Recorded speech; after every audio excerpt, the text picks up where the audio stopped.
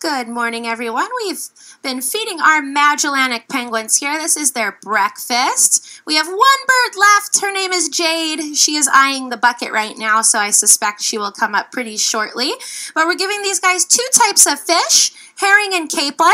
And we also had a couple of freshwater trout that Fisher and Matson ate. Not all the birds really wanted that. That was something new for them that they haven't seen well they've seen the trout before but those are pretty big trout compared to the ones that they usually see. We usually give them the teeny tiny ones. That was our oldest bird. Her name is whatever. She just ate a capelin. So this is a herring a little bit of a larger fish. Capelin's a little bit smaller. It's the two fish that we offer our birds but it's always good to give them variety Miss Whatever will only eat capelin. She will not eat herring, but some of our birds will eat both. And we do log every single fish that these guys eat. It helps us keep track of their own health care. So for example, we know Jade has not had her breakfast yet. So if she doesn't eat at all today, that's kind of strange. We would let our vet staff know. But good thing for her, she has three opportunities to eat today. So I have a feeling she's going to come up pretty shortly. She's actually at the water's edge right now. We feed our birds two to three times a day, depending on how hungry they are. Lately, these guys have been in their migration season, so that basically means they would be bulking up, uh, getting ready for breeding season. That's Floyd there getting a herring.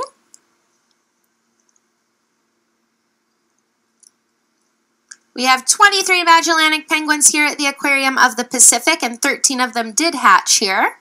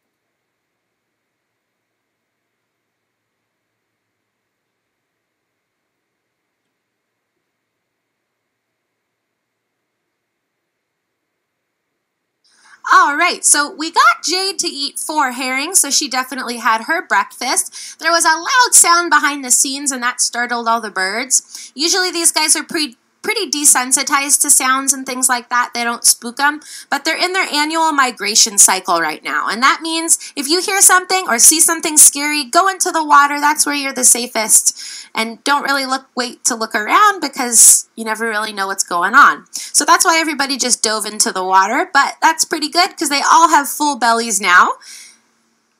Except maybe whatever is going to come back for some capelin. Magellanic penguins are native to Chile and Argentina, South America. They got their name from Ferdinand Magellan. They breed once a year and they actually spend about four to five months migrating. They're one of the biggest migrating species out there. They migrate about one to 3,000 miles a year. Thank you guys so much for supporting the Aquarium of the Pacific because your paid admission is going right back to these animals, whether it's to help feed them and give or give them the vet care that they need. So thank you guys so much and enjoy the rest of your day here at the Aquarium of the Pacific.